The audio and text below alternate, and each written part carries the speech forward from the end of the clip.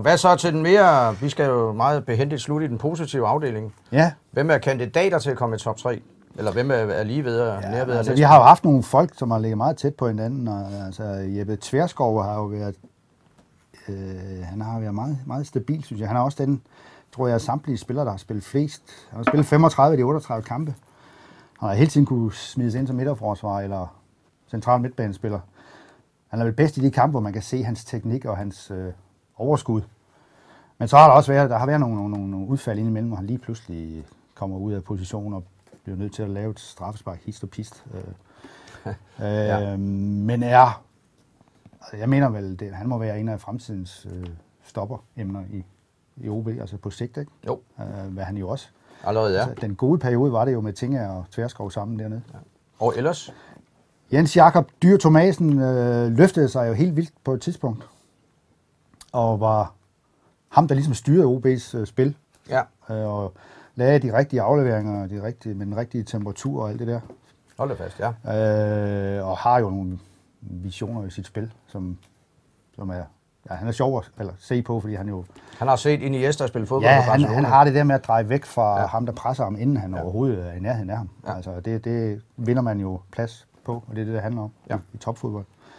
Han døde så lidt, eller døde i overført betydning her til sidst. Han virkelig lidt slidt, og var også en enkelt kamp helt væk, øh, eller sat af hold. Så han nåede ikke helt at komme op i top 3. Og nu er vi... Vi var faktisk øh, i tvivl om, hvem der skulle blive, være nummer 3. Øh, ja, altså på et tidspunkt havde vi jo Edmondson nede som, som, som nummer 4.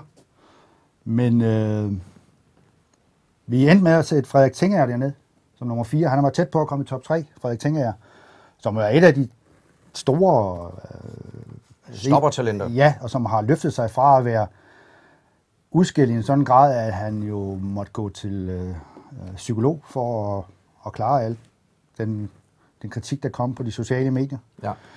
Øh, fordi det, det er... Og herfra, ja. Ja, nej, men vi skriver jo ikke, Nej. øh, at han skal på det ene Nej, eller nej, andet. nej, og nej. vi- Øh, vi skriver bare, at øh, han har lavet en fejl. Ja. Og det gjorde han jo i efteråret. Men der har han taget sig selv i nakken. Mm. I hvert fald langt hen ad vejen. Og han er også den, den, den, han er jo den der type, der, når han laver en fejl med, med et opspil op gennem midten eller sådan noget, så, så holder han ikke op med at spille Nej. de afleveringer. Han bliver han ved. Og det har også løftet OB's spil. Altså, han, han havde også nogle, nogle diagonale afleveringer, som man tænkte, det er alligevel. Han er ikke bleg for det. Der kan, være, der kan være noget stort på vej den. Øh, Ja, altså en stor dog en- en- 24-årig ja, unge mand. altså en mand på to meter, der kan spille fodbold, det, Ja. ja. dem er der ikke så mange af. Nej. Altså, så har der været noget til sidst med et par røde kort og sådan noget, men i hvert fald halvanden af dem kan man jo næsten skyde skylden på andre for. Så hvem bliver nummer, hvem bliver nummer 3? Det gør Johan Simon Edmondsson. Hold da fast. Fordi han er jo trods alt øh, den, der har gjort en forskel med, øh, ja, han er OB's topscorer med ni mål, og han har løftet sit spil helt, øh, helt vildt i forhold til, måske også fordi han blev rykket op som angriber. Altså måske frigjorde det et eller andet hos ham, Ja.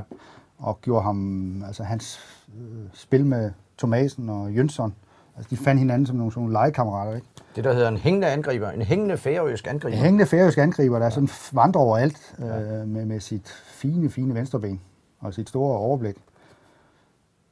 Han kunne også være noget øh, endt højere op, men der er mange af dem, de er lidt offer for, for præstation- præstationen i efteråret. Så Johan Simon Edmondsson bliver nummer tre. Og nu bliver det spændende jo, hvem der er i top 2.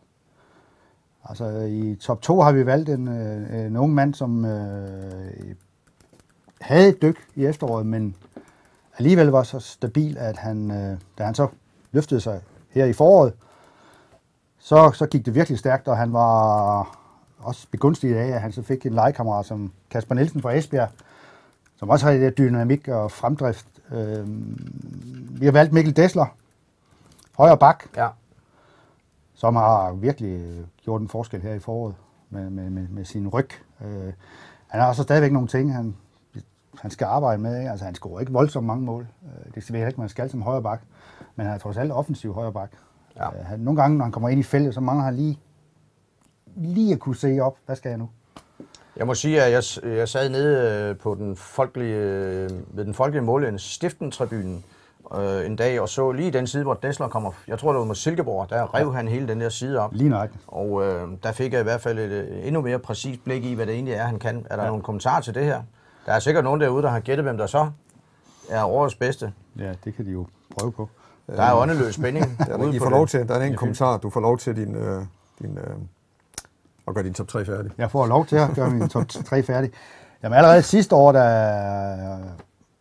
Rasmus Falk var den, der fik topkarakter i sidste ende af sæsonen, der var han jo lige ved at blive overhældt af en, en mand, der kun har spillet halvdelen af sæsonen, hvis han har haft tre kampe mere. Ja. Øh, denne mand. Så havde han allerede blevet årets spiller sidste år. Ja. Øhm, og han har så været stabil gennem hele, hele turneringen, indtil han gik i stykker til sidst. Sten Gryte Byst har været også i de hårde tider i efteråret været, været bedste mand for OB. Det, må vi, det, det kan der ikke være så meget diskussion om. Og han, øh, man tænker med gru på, hvis øh, andre med, havde stået her i efteråret.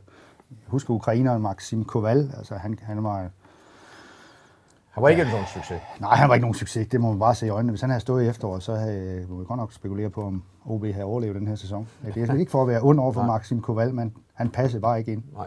Så Grydebus, ham gør du til nummer et. Den er adrette nordmand. Sten Grydebus gør vi til nummer et, selvom han uh, fik en, et par skader her til sidst, så var han, uh, han spillede 30 kampe ud af de 38. Han blev jo hentet i norske Åle Sund, ja. hvor han var i sin tid reserve for Anders Lindegård, som ja. inden han røg videre til ja. United. Ja. Og, øh, han, passer, jeg... han passer også godt i den der stil med, at man skal spille ud for forsvaret, fordi ja. han er forholdsvis god med fødderne og hurtig og adræt. Og... Det vil vække begejstring i Ole Sund og på kollega, hos kollegerne på, hvad hedder den? Sundmø, Sundmøre-posten. Sundmøre-posten, ja. ja. ja. Altså, han har været en succes, og Ken Nielsen siger, at han skal, han skal også prøves på højere niveau. Øh, forhåbentlig er det ikke et tegn om, at de vil sælge ham allerede i det her uh, transfervindue, fordi den synes jeg måske vil være lidt, øh, lidt, lidt risikabel. Så en nordmand som nummer et, og en færing som nummer tre. Ja, og, men heldigvis en fra 18 som nummer ja. to. Ja, men øh, det er jo ligegyldigt, hvor de kommer fra, bare det, bare det virker. Ja,